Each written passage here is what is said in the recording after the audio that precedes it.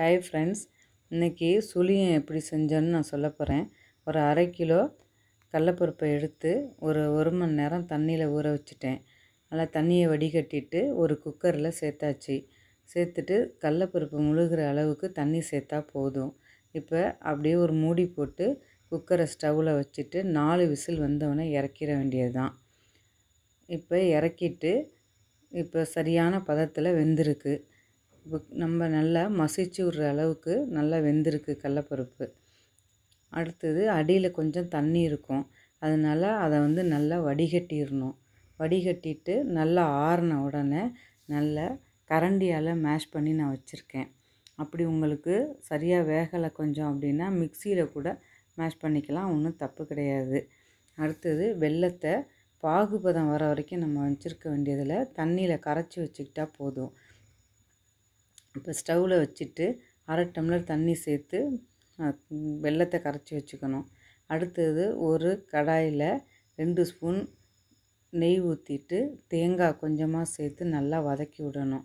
தேங்காய் வந்து நல்லா வாசம் வர வரைக்கும் வதக்கணும். அதில் இந்த நம்ம கரைச்சி வச்சுருக்கிற வெள்ளத்தை எடுத்து அதில் சேர்த்துடணும். சேர்த்துட்டு நல்லா கிண்டி விடணும். கிண்டிட்டு ஏலக்காயை பவுட்ரு பண்ணி அதில் ஒரு அரை ஸ்பூன் சேர்த்துக்கணும். இது எல்லாத்தையும் நல்லா கலந்து விடணும். அடுத்தது நம்ம மேஷ் பண்ணி வச்சுருக்கிற கடலப்பருப்பையும் அதில் சேர்த்துடணும். சேர்த்து நல்லா கிண்டி விடணும். இப்போ இந்த பதத்துக்கு வந்தோடனே நம்ம இறக்கி வச்சிட வேண்டியது தான் இப்போ பூரணம் ரெடியாயிருச்சு சுளியம் சுழியம் செய்கிறதுக்கான பூரணம் ரெடியாயிருச்சு அடுத்தது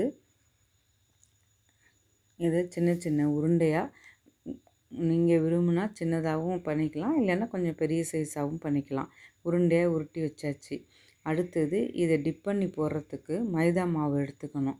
இப்போ மைதா மாவை ஒரு நான் வந்து ஒரு டம்ளர் எடுத்திருக்கேன். அதில் கொஞ்சமாக சால்ட்டு சேர்த்துருக்கேன். அப்போ தான் சுளியை வந்து ஒரு டேஸ்ட்டு கொடுக்கும் சால்ட்டு சேர்த்தா. அதனால் அதில் ஒரு டம்ளர் தண்ணி ஊற்றி நல்லா கலக்கணும். நல்லா இட்லி மாவு பதத்துக்கு நல்லா கலந்து வச்சுக்கணும். இப்போ நான் கலந்து வச்சுட்டேன்.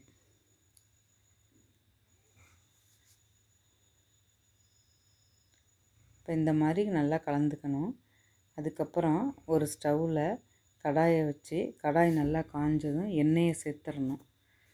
எண்ணெயும் நல்லா காஞ்சதுக்கப்புறம் நம்ம அந்த பால்ஸை அந்த மைதா மாவில் டிப் பண்ணி அதில் உள்ளே சேர்த்துடணும்.